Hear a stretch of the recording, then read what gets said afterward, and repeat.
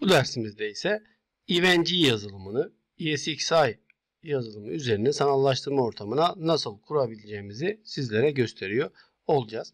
Öncelikle network ayarlarımızda e, Promiscuous modu enable etmemiz gerekiyor. Çünkü daha sonrasında bize lazım olabilir. E, gördüğünüz gibi buradaki security ayarlarında e, Promiscuous mod açık. Bunu nasıl yapıyoruz? Edit butonuna basıyoruz. Security altından Promiscuous mod ayarlarını aktif ediyoruz. Daha sonra önceki dersimizde göstermiş olduğumuz EVNG yazılımını bizim buradaki data store'umuza yüklememiz gerekiyor. Biz çünkü ISO dosyası üzerinden kurulum yapacağız. Onun için yine Storage menüsüne geliyoruz. Data Store'a tıklıyoruz. Data Store Browser'a geliyoruz. Burada bir ISO dosyalarını koymak için kullanmış olduğumuz klasörümüz var. Bu klasöre tıklayıp Upload diyerek biraz önce indirmiş olduğumuz, önceki derste indirmiş olduğumuz ISO dosyamızı ESXi Data Store'umuza upload ediyoruz. Burada upload süresi bizim bağlantı hızımıza bağlı olarak değişebilir. Evet ISO dosyamız e, bizim ESX serverımızın data store'una yüklenmek üzere. ESX serverımızın data store'una yüklendikten sonra sanal makinamızı, sanal EVNG yazılımımızı kurmaya devam edeceğiz. Evet geldik Virtual Machine seçeneğine geliyoruz. Create Register VM seçeneğini tıkladığımızda Create New Virtual Machine diyoruz. Buraya EVNG olarak ben isimlendirme yapıyorum. Siz kendinize göre verebilirsiniz. Linux seçiyoruz.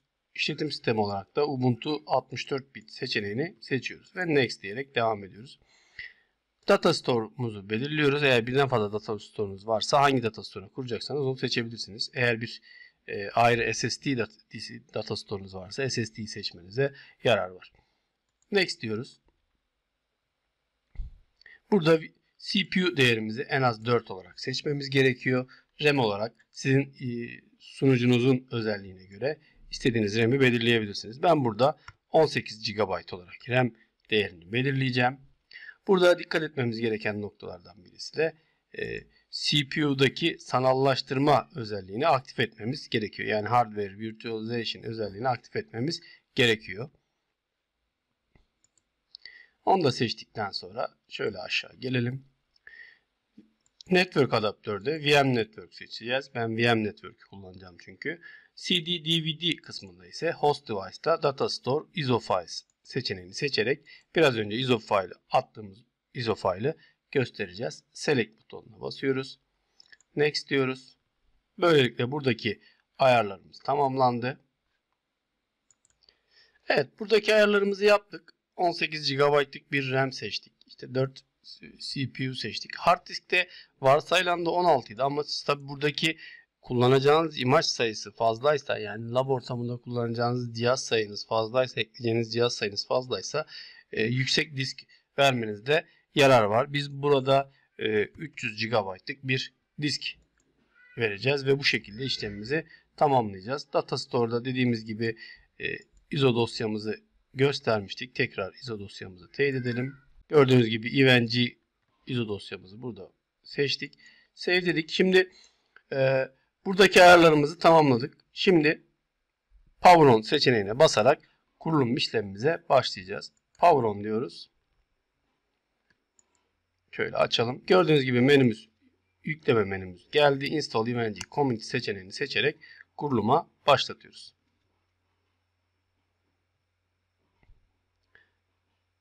Yani kurulum süresi sizin sunucunuzun özelliklerine göre değişebilir.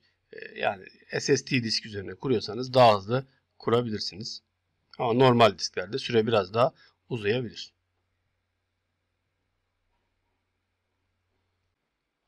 Evet kur, kurulum işlemimize geldik. İngilizce olarak devam ediyoruz. Klavye seçeneklerimiz İngilizce'de kalabilir. İsterseniz değiştirebilirsiniz. Türkçe de seçebilirsiniz. Türkçe seçelim. Dil seçeneklerimiz Türkçe olsun.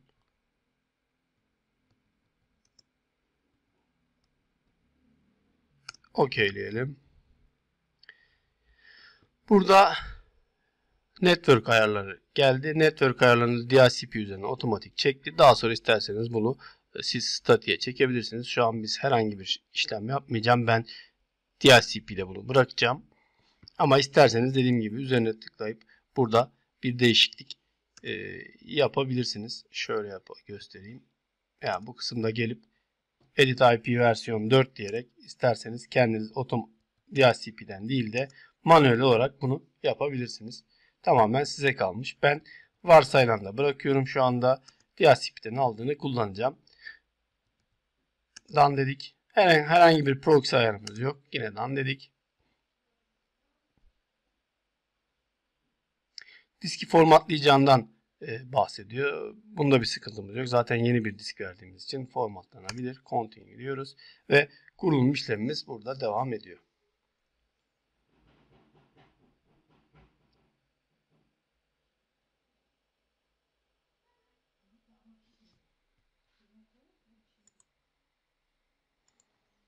Kurulum işlemlerimiz devam ediyor. Burada zaten e, aslında bu kısım hani bildiğiniz bir e, Ubuntu server kurulumuyla hemen hemen aynı gibi aynı şekilde kuruyor. İçinde e, Evenci yazılımı da kurulmuş olarak otomatik geliyor.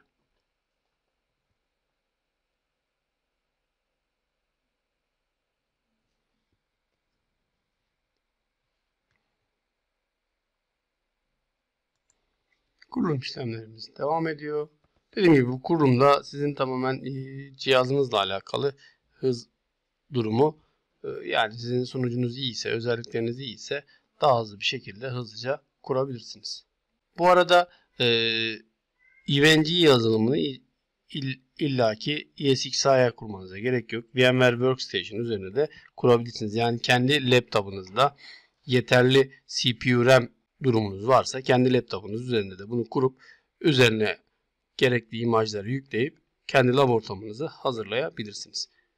Sadece dediğimiz gibi Aruba özelinde imajlar yok. Birçok farklı üreticinin imajları var.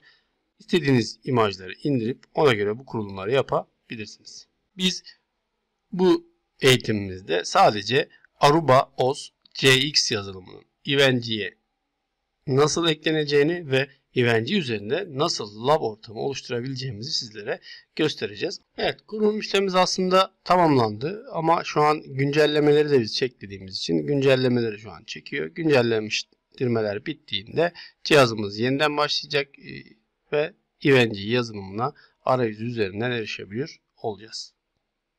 Evet güncelleme işlemlerimiz de tamamlandı. Şimdi Reboot Now diyerek kurulumumuzu tamamlayacağız. Burada tabii ki öncelikle CD'yi çıkarmamız gerekiyor. Evet Reboot Now dediğimizde böyle bir hata verdi. Bunun sebebi de bizim ISO dosyamızın hala burada ekli olması. ISO dosyamızı burada kaldırdığımızda bu hatayı vermeyecek. Data Store File Connect'ini kaldırıyoruz. Save diyoruz. Buradaki işlemimizi tamamlamış olacağız. Yeniden başlayacak cihazımız. Evet kurmuş olduğumuz EVNG yazılımımız, EVNG sunucumuz şu an açılıyor. Açıldıktan sonra biz Eventy yazılımımızı oturumu açabilir duruma geleceğiz. Sonraki derslerimizde ise Eventy yazılımına Aruba CX Switch yazılımını nasıl ekleyeceğimizi gösteriyor olacağız. Evet kurulum işlemimiz tamamlandı. Gördüğünüz gibi IP adresini cihazımız aldı. Yeniden başladı. Default root password'ümüz if, if e, bu web arayüzü içinde kullanırsak eğer web arayüzünde admin if şeklinde geliyor. Hemen bakalım web arayüzümüz gelecek mi? Evet, EVNG'nin web arayüzü geldi. Kullanıcı adımız admin, password admin, net, native konsol ya da HTML5 konsol seçeneğini seçebiliriz burada. Sign in dediğimizde EVNG arayüzümüze girebildik. Evet, böylelikle EVNG yazılımının nasıl kurulduğunu sizlere göstermiş olduk. Herhangi bir şekilde şu an EVNG yazılımımızın içinde bir imaj yok. Sonraki derslerimizde Aruba OS CX imajını nasıl yükleyeceğimizi ve lab ortamını nasıl oluşturacağımızı sizlere göstereceğiz.